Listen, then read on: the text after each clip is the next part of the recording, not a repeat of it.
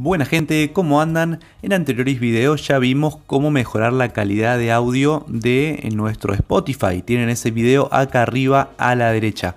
Pero el día de hoy vamos a aprender a mejorar el audio de el Bluetooth, es decir, de la conexión entre nuestro teléfono y los dispositivos que estemos utilizando, ya sean unos auriculares Bluetooth, eh, de la marca que sean. Como saben, Bluetooth es un protocolo, es un estándar, sin embargo, la conexión de Bluetooth tiene muchas variables dependiendo de cómo lo tengamos configurado y eh, de con qué dispositivo nos estemos conectando y desde qué dispositivo. Por ende, para toquetear un poco eso, lo que vamos a necesitar es tener acceso a los ajustes de desarrollador. Si no saben cómo tener acceso a los ajustes de desarrollador, les dejo un video acá arriba a la derecha, pero de todas formas yo les voy a estar mostrando rapidito acá cómo hacer. Para eso vamos a bajar la barra de notificaciones, vamos a ir a nuestros ajustes vamos a bajar un poquito hasta encontrar donde dice acerca del teléfono. Puede depender o variar según su marca y modelo de teléfono, pero todos los Android tienen una sección que es la información del software. Vamos a entrar ahí y en este caso vamos a buscar información de software. Vamos a darle ahí y lo que vamos a encontrar es una sección que dice número de compilación. Lo que tendremos que hacer es eh, apretar 7 veces ahí hasta que se nos habilite las opciones de desarrollador. Como pueden ver ahí me dice que no es necesario porque ya lo soy. Pero si ustedes no lo son, simplemente denle 7 toques eh, donde dice número de compilación y automáticamente ya lo tendrán activo. Una vez esté activo nos vamos a volver y nos va a aparecer una opción que antes no estaba que es opciones de desarrollador. Repito nuevamente, puede depender dónde aparezcan según la marca y modelo de su teléfono. A mí, este es un Samsung Galaxy S10 Plus, me aparece directamente en la parte final de los ajustes en la primera pantalla. Sin embargo, le repito, su teléfono puede ser que esté en otro sitio, quizás está dentro de acerca de teléfono y tengan que entrar eh, acá abajo y les aparezca. Depende mucho de la marca y modelo, pero créanme que esto es eh, algo propio de Android, por tanto va a estar en todos los teléfonos. Bien.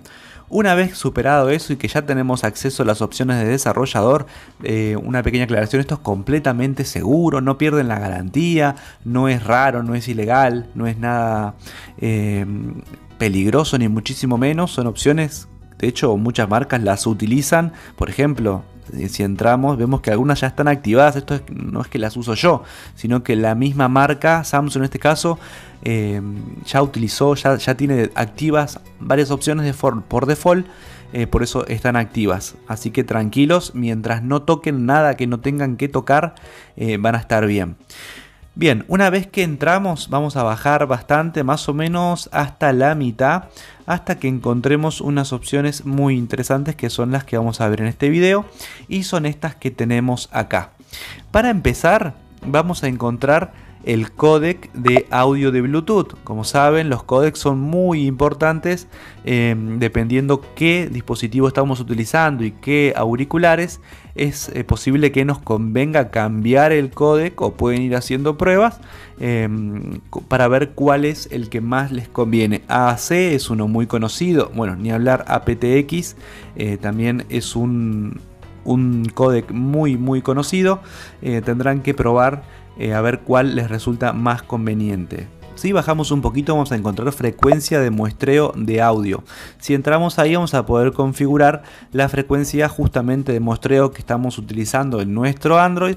En este caso podemos elegir cuatro variantes, 44, 48, 88 y 96.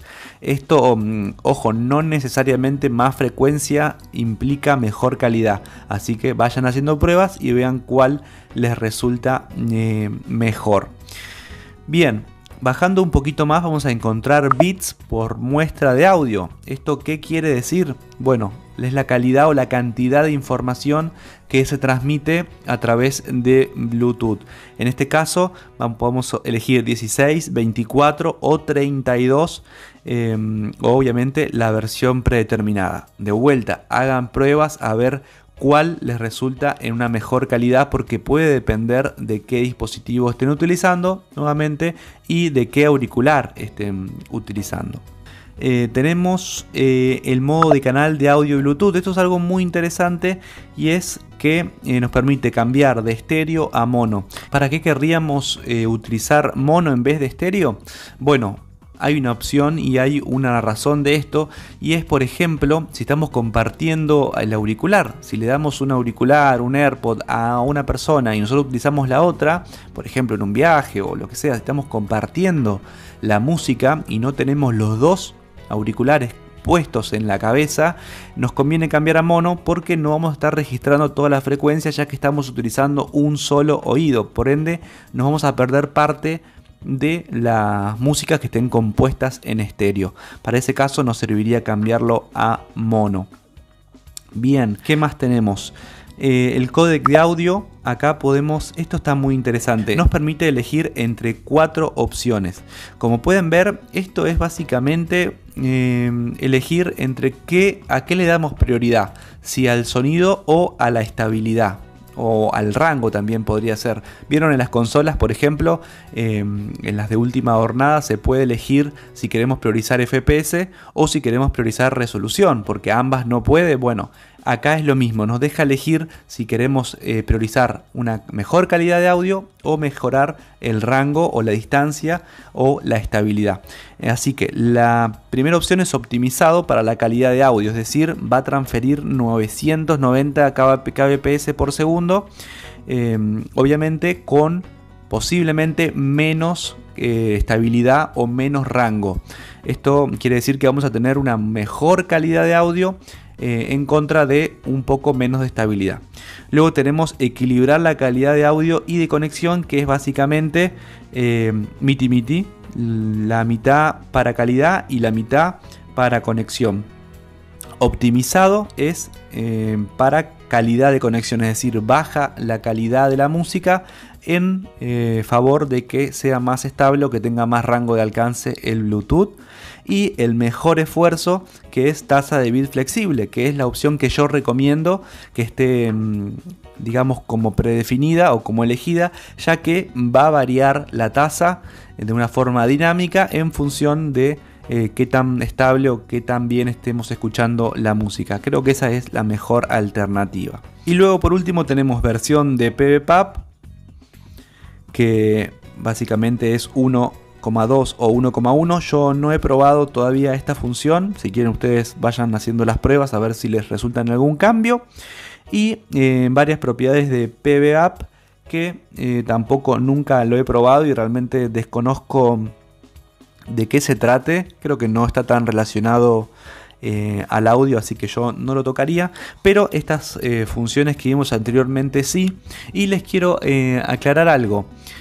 Si ustedes cambian algo, por ejemplo, si ustedes cambian el codec, lo ponen en AAC y al conectar sus auriculares vuelven acá y ven que no está seleccionado AAC, sino que está seleccionado en este caso SBC o algún otro, esto no es, no es un error ni muchísimo menos, significa que el auricular que conectaron no es compatible con ese codec.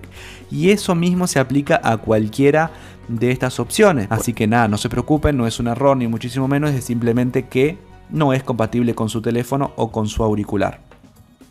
Otra cosa, una vez que tengan todo configurado, hayan hecho las pruebas y hayan determinado qué es lo que les da mejor resultado, no desactiven las opciones de desarrollador, porque si las desactivan desde acá arriba a la derecha, va a dejar de tener eh, uso, es decir, va a volver atrás y no va a quedar nada de lo que hayan configurado, va a quedar eh, de forma estable. Así que simplemente déjenlo conectado. Les repito, no pierden la garantía, ni es riesgoso, ni gasta más batería, ni muchísimo más de las pavadas que se escuchan en internet sobre las opciones de desarrollador. Así que eh, no tengan ningún miedo con eso.